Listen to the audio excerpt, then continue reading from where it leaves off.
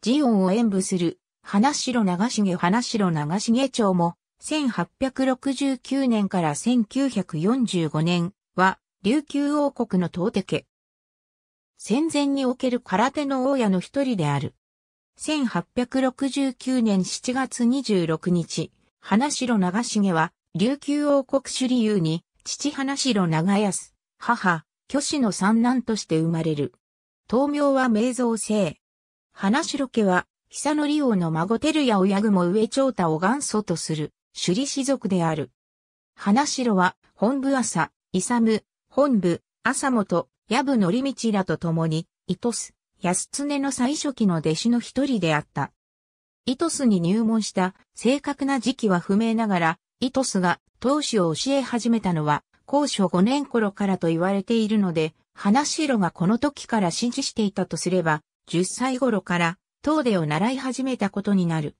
1890年、花城は陸軍共同団に志願入団した。この時、応募者50名庁のうち合格したのはわずか3名に過ぎなかった。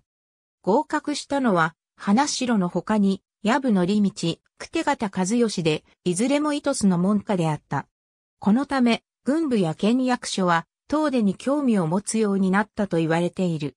花城は、その後、日清、日露戦争に従軍した。1905年、沖縄県立第一中学校で、当主の指導を行う。また、この年の8月、空手組手という組手研究に関する文章を記し、空手の文字を初めて使用した。これは、船越義鎮が当主を空手に改名するよりも30年ほど前のことである。1919年、回し村村長に就任。1926年には、本部朝、勇、マブニ県は、千葉な朝信らと共に、沖縄東出クラブに参加した。1934年、朝とで空手を指導。